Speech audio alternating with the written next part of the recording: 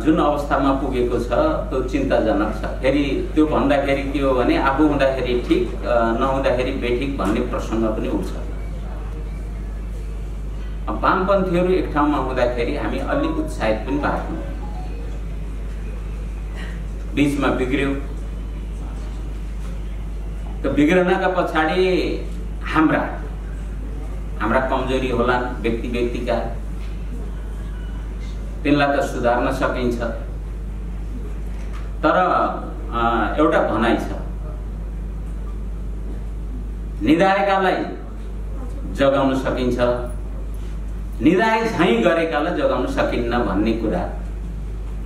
अब त्यो अर्काको स्वार्थ बोकेर आफ्नो स्वार्थ पुरा गर्न चाहनेहरूलाई मुलुकको पक्षमा कुनै स्वार्थ नभएका मान्छेहरूलाई आफ्नो स्वार्थ मात्रै बोकेका मान्छेहरूलाई सजग बनाउन अप्ठ्यारो हुँदो रहेछ।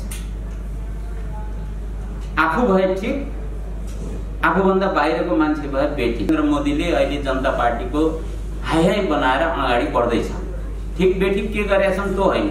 मैले प्रवृत्ति के भन्न खोजेको भने राष्ट्रियताका लागि काम गर्ने मान्छेहरूले काम गरिरहँदा त्यो कुरा भित्रै बसेर त्यसको आलोचना अथवा ठिक काम गर्ने विषय आफ्नो ठाउँमा हुनसक्छ।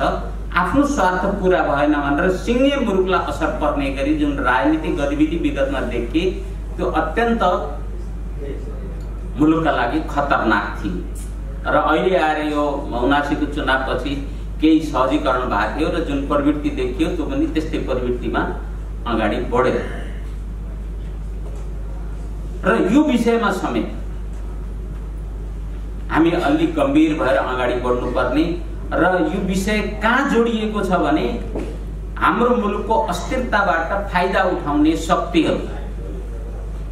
त्यसको दाउमा आफ्नो स्वार्थ पुरा गर्ने र अन्तर्राष्ट्रिय साम्राज्यवाद कायम राख्ने प्रवृत्ति र आफ्नो दुनु नसुल्झिने अवस्थामा हामीलाई समेत त्यो घानमा हाल्ने प्रवृत्ति यहाँ देखियो।